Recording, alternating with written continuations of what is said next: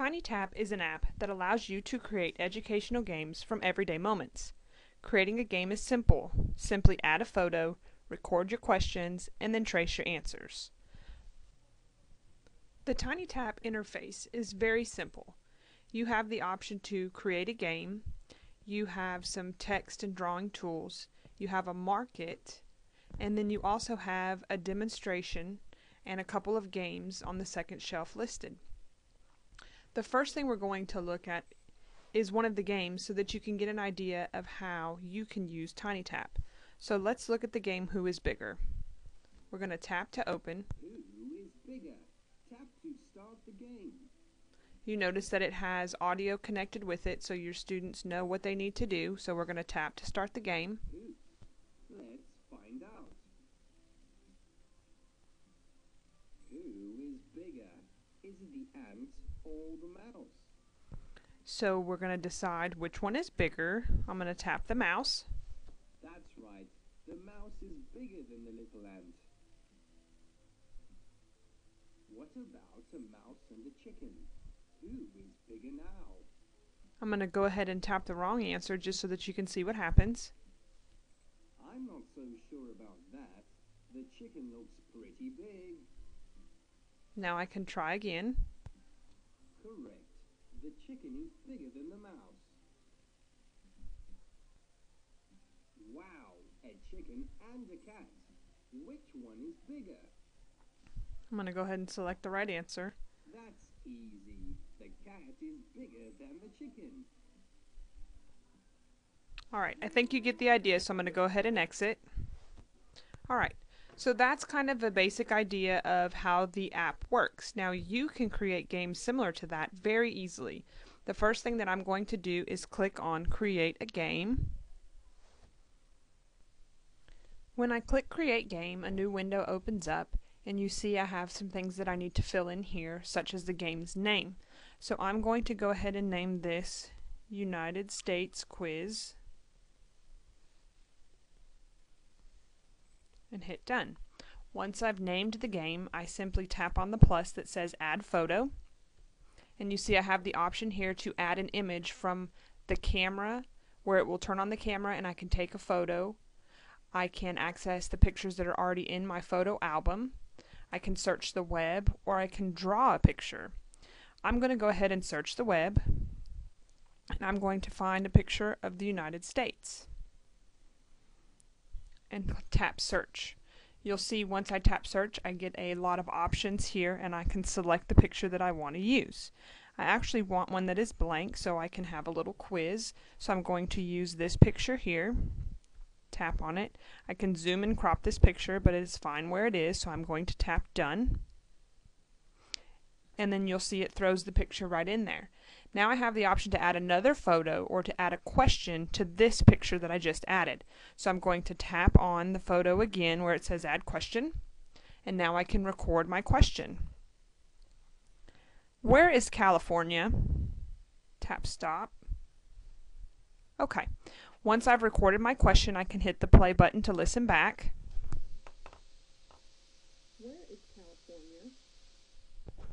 If I'm happy with that recording, I can now trace my answer in my photo. So I'm going to tap on Trace Answer Area in Photo.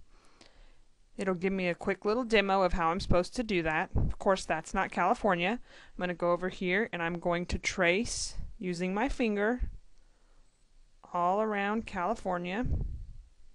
If I'm happy with that, I can hit Done Tracing or I can click Cancel and trace again.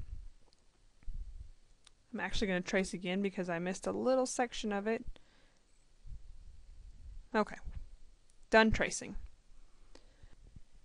Okay, now if I want to add a correct message or an incorrect message, when I have the question listed here, I can tap on the pencil next to that question and you'll see now I have the option to either re-record a question, record an answer, or record a mistake. So if I want to record an answer, a correct answer, I can tap right here. Great job, that's California. Okay, or if I want to record a mistake, try again.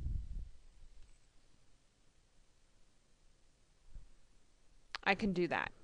If I want to name my question, I can tap here and I can type in California. Or you can just leave that question one. It's up to you. When I'm finished, I click Done. Okay. When I'm done here, I can click Done in this left-hand corner. And now I'm back to that initial Create Game page where I can add another photo with more questions. So let's add another photo. We'll do the web again. United States. Search. I'll find my same picture. Done. Okay, tap on it again to add the question. Alright, I can go ahead and record my question. Where is Louisiana? Let me trace my answer again by tapping on Trace Answer, Area and Photo. Okay, I'm going to go ahead and trace where Louisiana is. And I'm going to click Done Tracing. Again, if I want to record a correct or an incorrect response, I can do that as well. Again, by tapping the pencil and recording those here. I'm going to click Done. I'm going to click Done again. And let's say that I've added all the questions that I want. When I've added all the questions here that I want, I can click Done in the top left hand corner, or I can tap up here where it says Music.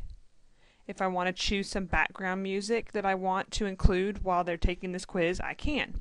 I can just simply tap on one and when you see the cassette next to it, that's the music you select. If you want to preview any of the music, you can tap on the play sign.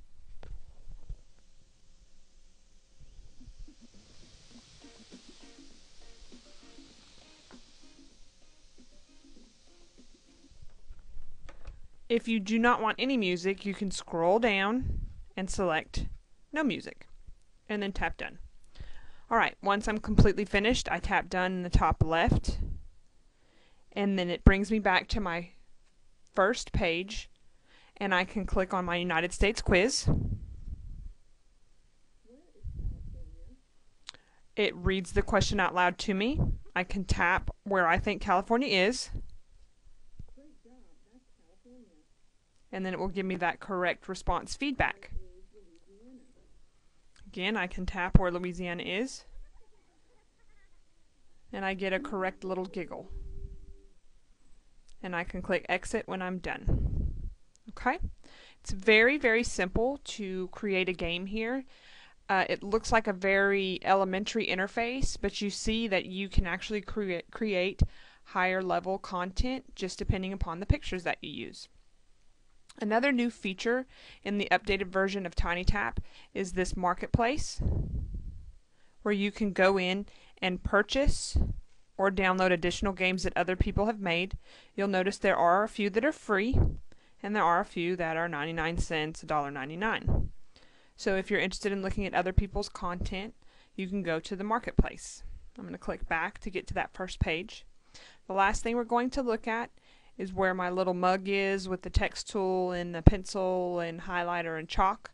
I'm going to tap there. You'll see here it looks just like it's a blank page with the done and share button but if you look at the very bottom there's a little semicircle with a pencil kind of poking out. If I tap on that I can draw a picture if I'd like so I can take the brush and I can pick a color and I can draw a sun if I wanted to draw a picture of something outside, I can add text. If I want to edit that text, I tap on the text, hit the delete button. I can type in a question if I would like. Or if I wanted to type in a sentence and have them tap on the noun or the verb or the adjective, I could do that as well. I can also erase whatever I've drawn by using the eraser. Or I can use the other chalk or highlighter, things like that. When I'm finished, I can click Done. It'll save that to my camera roll. I can say Done again. and it actually automatically throws that into a question for me. And then I can do just like I did when I added a picture. Tap on add questions, add my questions, add my correct or incorrect feedback, and add as many additional questions as I would like. Very simple interface, excellent to use in elementary all the way down to pre-K, um, and really depending on the content that you include, whatever grade level you'd like.